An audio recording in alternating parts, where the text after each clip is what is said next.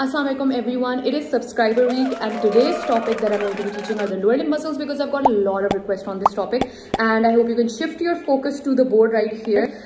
We are going to uh, basically have this mnemonic for all of you that mnemonic, I have this shortcut for you basically uh, that allows you to understand these muscles in a summarized form. So I'd like to reveal that today. Basically, I want you to divide your lower limb into a thigh which is the upper part of the lower limb and into a leg all right? And then the foot. Today i'll only be focusing on the thigh and the leg because i know the muscles there are more confusing. So let's go ahead and talk about the thigh muscles first. Now i want you to divide the thigh into three compartments all right? Let's talk about the thigh first. The thigh will be divided into an anterior compartment a medial compartment and a lateral compartment now what I want you guys to do is by default write down these clincher words or these uh, you know malignant words that are going to lead you to answer multiple things which is the origin, insertion, action, nerve supply and that is the issue that you guys have right. So we're gonna go ahead and somehow look at these uh, keywords that will help us with the entire thigh muscles alright. Uh, so in the anterior compartment of the thigh I want you to remember is the quadriceps muscles.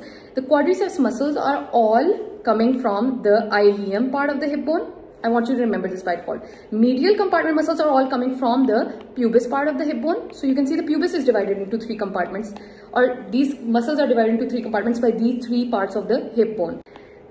Sorry, I mean posterior and the posterior compartment is coming from ischium part of the hip bone. Now, if you notice that the hip bone is basically composed of the upper ilium, the straight part for the anterior compartment origin, then a medial part which is for the medial compartment origin and posterior part which is the ischium for the posterior part uh, origins.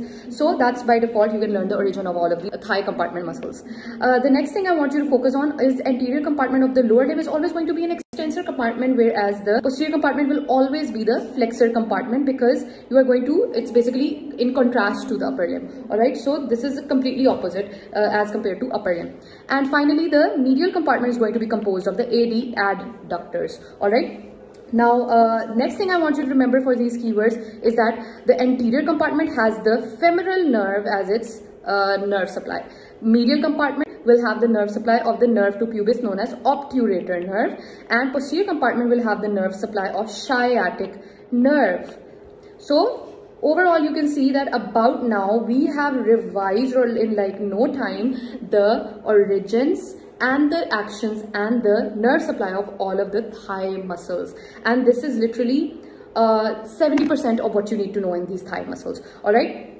And I want you to remember the anterior compartment has a, uh, there is just few exceptions that I want to talk about. Sartorius is the only uh, exception that is not going to be doing extension, rather it will be doing the tailor's uh, muscle position, which is the uh, abduction, lateral rotation and uh, flexion of the knee. If you can remember that exception, totally good. And one more, two more exceptions. They're not exceptions actually. And two hybrids exist in this thigh. These two hybrids are known as the adductor magnus. If you can remember that, that'd be great. And the pectineus. All I want you to remember, hybrid means two nerve supplies. Two nerve supply meaning the adductor magnus is going to be supplied by the medial compartment nerve, obviously because it's the adductor compartment, therefore obturator nerve, it will originate from pubis.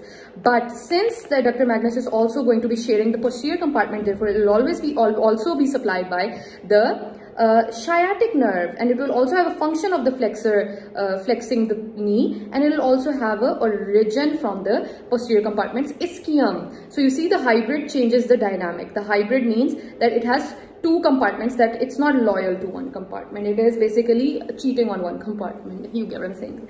And pectineus, for the pectineus, uh, I want you to remember that anterior and medial compartment are going to have the, uh, basically it's going to be in these two compartments. Therefore, its nerve supply will be from these two, femoral and obturator. That makes complete sense.